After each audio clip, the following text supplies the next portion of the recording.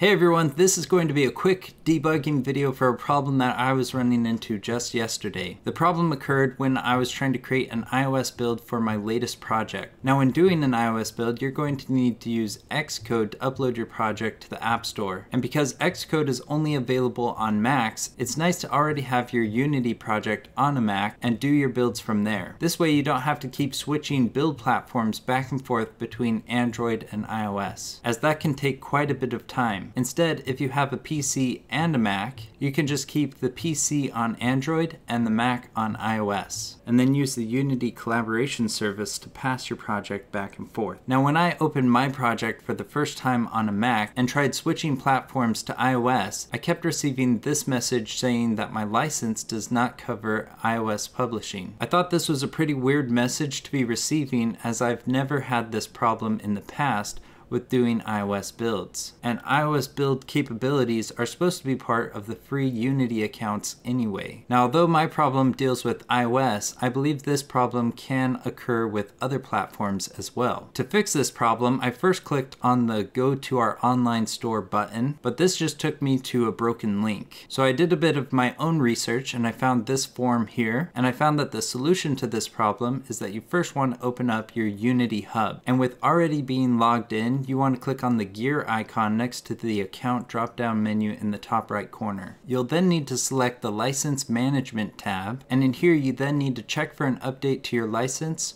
or sign up for a new one. Now remember, you don't need a paid license to do iOS builds. The personal license will work just fine. This problem should also only occur if you're working on a new computer that you're using Unity on for the first time. And remember, this problem is not exclusive to iOS builds only, but can also appear with other build platforms as well. It just so happened that I was running into this problem with iOS because that was the platform that I was trying to build for. Now once you've re-registered your Unity license, you should be able to restart your project and then be able to switch over to the iOS build platform. And that's how you fix this problem. Now I hope you enjoyed this video. If you did, make sure that you give it a thumbs up. Also remember to subscribe to our channel so that you can be up to date with all our latest videos.